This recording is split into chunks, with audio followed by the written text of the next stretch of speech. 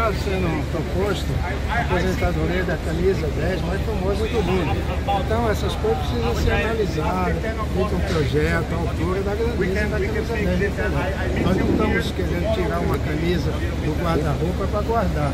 Não, nós temos que sim saber que vamos aposentar a camisa 10 que era usada pelo Pelé. Então, para isso, precisa ser feito um projeto, precisa ser o, torcedor entender essas coisas, porque para suspender a camisa é fácil.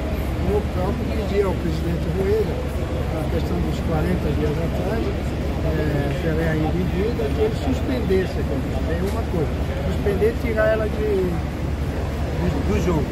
Agora, fazer um projeto para encerrar a participação da camisa 10 pelo durante 18 anos pelo clube, isso é uma coisa grandiosa que tem que estudar e tem que ser feito com calma. Você é a favor?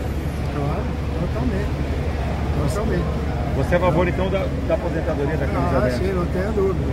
E, e às vezes é, a questão toda da camisa 10 ah, fala assim, ah, tem alguém que possa é, jogar a altura do camisa 10. Né? Então pensa, alguém que vai ter essa responsabilidade de, ter a cobrança da camisa 10. Então é melhor evitar isso.